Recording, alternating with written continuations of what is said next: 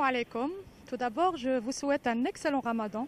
Que ce mois sacré euh, vous apporte la joie, la santé et la prospérité.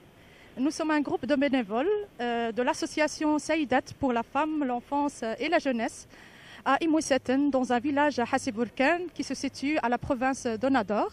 Nous avons un projet de construction d'un centre multifonction pour les femmes, les jeunes et les enfants. Euh, nous avons reçu un terrain vide de 210 mètres carrés mis à disposition euh, pour l'association et par une habitante du village. Et nous avons l'honneur de vous inviter à un iftar de solidarité en collaboration avec euh, Madame Soumaya Kourkzine de la Fédération des associations marocaines et les membres de l'ASBL Action et Dialogue Bruxelles.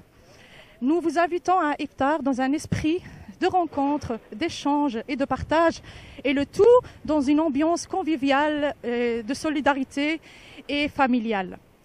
Nous souhaitons à toute personne de nous soutenir dans cette action pour récolter des fonds et des dons, pour s'investir dans une action de solidarité. Nous cherchons des personnes qui peuvent nous soutenir dans ce projet pour récolter des fonds et des dons et s'investir dans un projet solide pour pouvoir construire un centre multifonction pour des femmes, des jeunes et des enfants à Hassiberken. Vous trouverez toutes les informations sur euh, la journée de la soirée de l'iftar et la carte de soutien si vous désirez participer à notre noble action. Je remercie vraiment la Fédération des associations marocaines qui met en place des structures pour soutenir les membres des ASBL. Je remercie également Saïd Saïdi et toute l'équipe de MRE 24.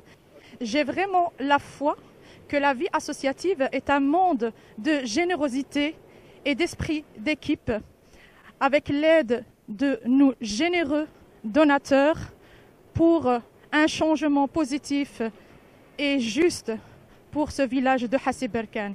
Je remercie toutes les personnes qui soutiennent notre projet de solidarité. Venez nombreux et nombreuses le vendredi 2 juin 2017 à partir de 20h30 à la salle royale, rue de la Bonne, numéro 101 à Molenbeek.